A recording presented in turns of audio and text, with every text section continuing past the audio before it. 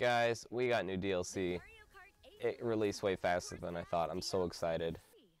Okay, first I got Maple Treeway. I'm so excited for this one. The music sounds amazing, honestly. It seems like it's going to be way less jank than in Mario Kart Wii. I'm so excited. Yeah, that. Oh yeah, the turn looks so nice. I, I don't know, man. The tree's just amazing. They got a glider ramp instead of the net. This is amazing as well. I'm so glad about this. Oh, it just looks so cool. I love it. Oh, you can like, yeah, okay. 3DS, I remember, I never played 3DS, so I don't know. I heard this was one lap. It looks super cool, like average Mario Kart 8 stuff. Looks pretty, uh, like, cool textures. I mean, the ground doesn't look too, but like, oh, that looks awesome though. Very, like, classic Mario Kart 8.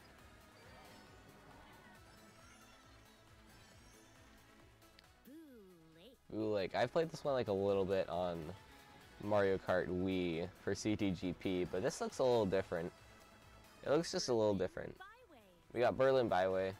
I guess you can trick off those like weird Thwomp guys. That's kind of cool. Rock Rock. Oh, I've played this one on CTGP before. It's actually really fun. It's a good one. I like it.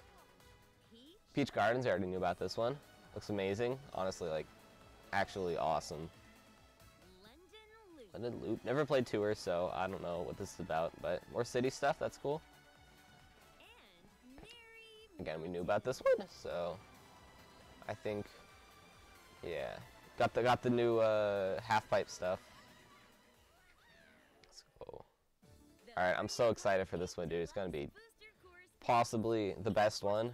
I mean, two Wii tracks, so I mean, like that's I'm down for that. Plus, yeah, I'm, I'm I like like all those tracks really though. They're gonna be all fun.